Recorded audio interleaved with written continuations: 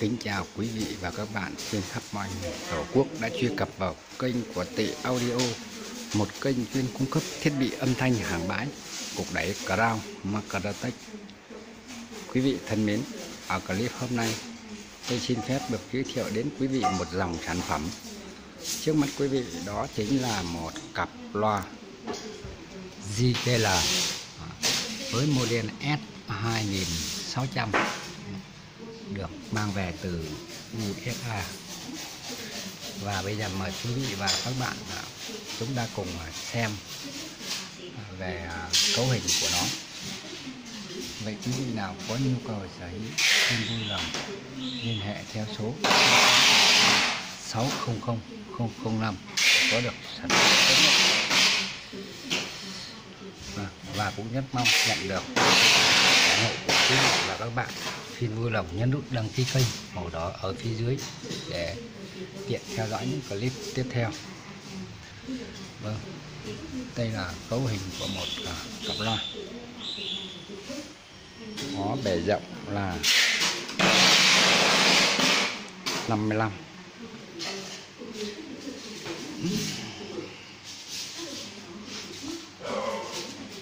với à, cấu trúc à, hình chữ AL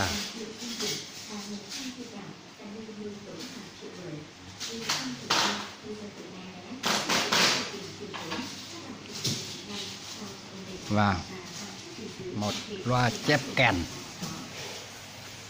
rộng với uh, diện tích 40 cao 30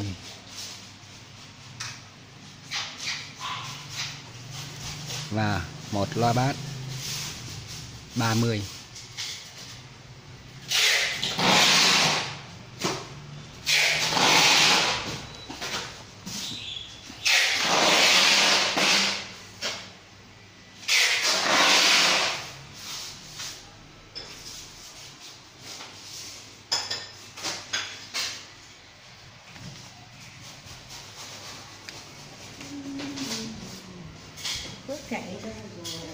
Vâng, đây là tháo một ba bát nha để à, cho các quý vị à, chúng ta cùng à, xem về phân tần.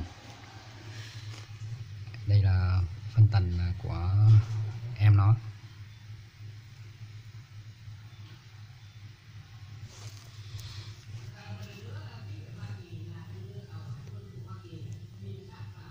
Vâng, dòng uh, JBL S